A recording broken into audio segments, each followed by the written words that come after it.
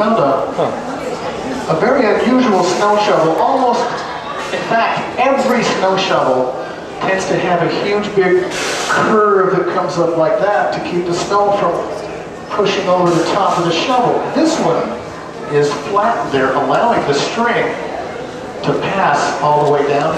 And this, the shovel has three strings. And I'm going to play a piece called Building a Desert Blizzard. Here we go.